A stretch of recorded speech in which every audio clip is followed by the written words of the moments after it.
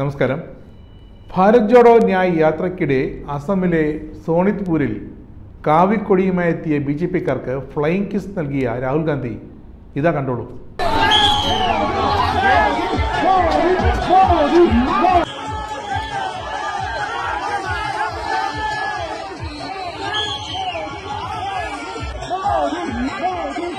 B J P പ്രവർത്തകർക്ക് flying kiss നൽകിക്കഴിഞ്ഞെങ്കിൽ രാഹുൽ ഗാന്ധി ഇതുകൂടി എന്നറിയണം. സുപ്രീം കോടതി നീതി പകർന്നു നൽകിയ ബിൽക്കിസ് ബാനുവിന് വീണ്ടും നീതി ലഭിച്ചിരിക്കുന്നു.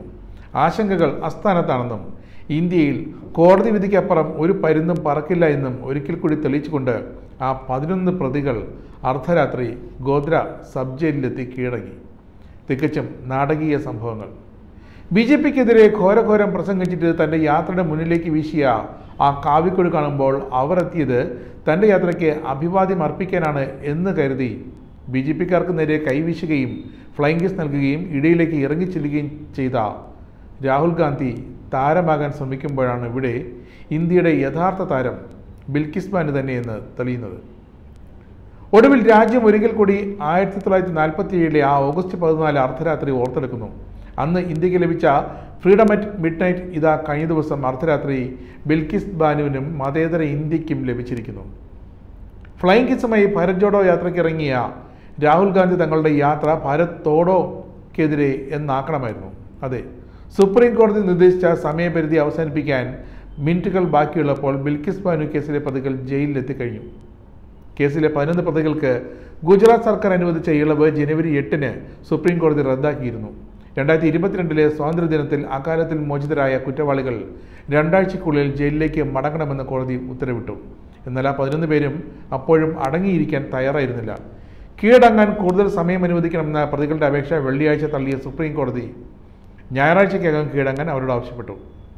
ബഗാപൈ വുഹാനിയ ബിപിൻ ചന്ദ്ര ജോഷി കേസർപൈ വുഹാനിയ ഗോവിന്ദ് നായ് ജസുൻ നായ് മിതേഷ് ഭട്ട് പ്രദീപ് മോർത്തിയ രാധേശ്യാം ഷാ രാജുഭായ് സോണി രമേശ് ചന്ദന ശൈലേഷ് ഭട്ട് എന്നിവരാണ് തിരികെ ഗോദ്ര ജയിലിലേക്ക് അടയ്ക്കപ്പെട്ട പതിനൊന്ന് പേർ.